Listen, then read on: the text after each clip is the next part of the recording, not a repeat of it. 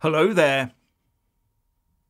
Now, this really did surprise me, so I wonder what you'll make of it.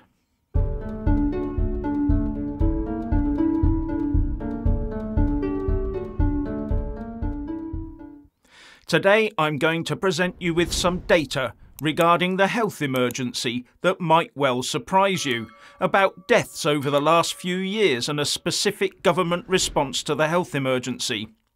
And I'm not going to come to any conclusions or say that there's anything right or wrong. I'll leave that for you to decide. Now, I'll be looking at official government data from the Office for National Statistics, together with data from an organisation called Our World in Data, who I'm sure just produce the information and have absolutely no axe to grind. And the time frame of this is from January 2021 to September 2022 regarding the ARM administered cough mixture with that particular programme having started in the previous month, December 2020. Now, one point to note is that Our World in Data produced a graph to show the percentage of those in the UK who took at least one course of the mixture. From their graph based data, I produce my own version and as you can see from that graph, there was a fast take up at first, which then tailed off to hit 80% by September 2022. And that's as far as that data goes. And you can also see the spreadsheet generated average across that time frame. That average was a 66% take up of at least one course for the period. So from January 2021 to September 2022, the average proportion of the UK population to take up the offer was 66%. Now that's according to Our World in Data. Some government sources and the BBC have made the odd claim that it is much higher. But I'll leave that for you to decide.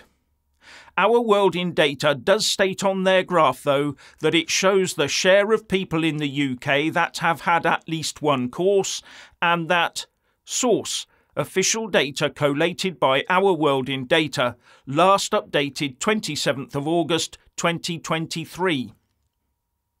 Now, against this, I took a look at two different sets of data from the Office for National Statistics, the ONS.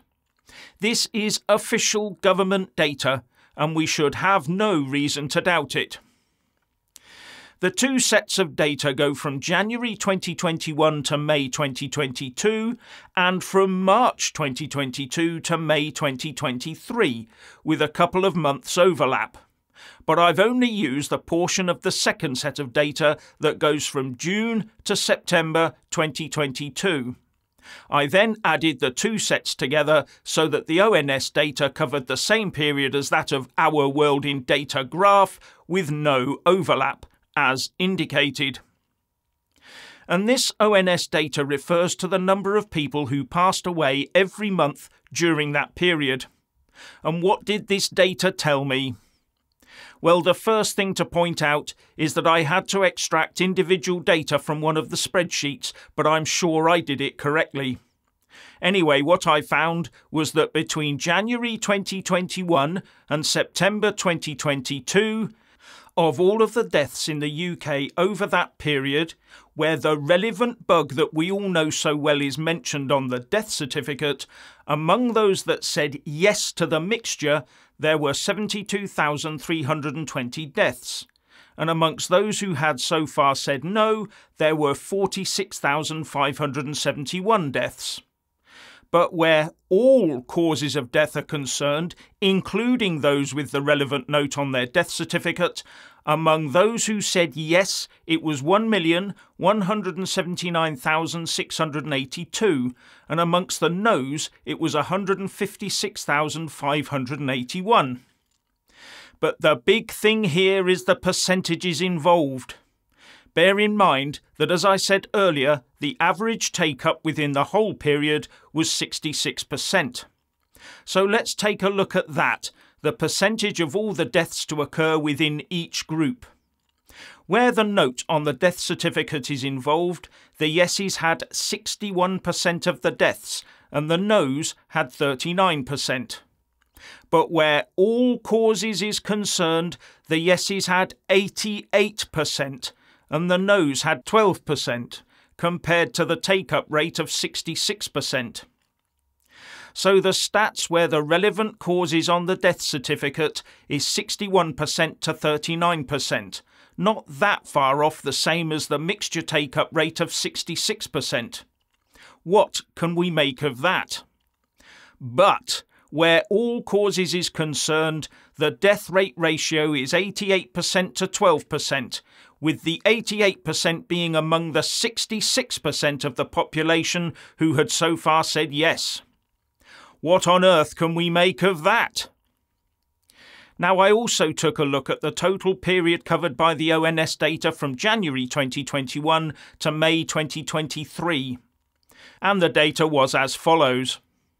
Where the relevant note appeared on the death certificate, 65% of deaths were among the yeses and 35% were among the noes and where all causes is concerned, nearly 90% of deaths were among the yeses and about 10% among the noes. And looking again at the graph of take up, you can't see it growing much more than 80% over the following months to May 2023.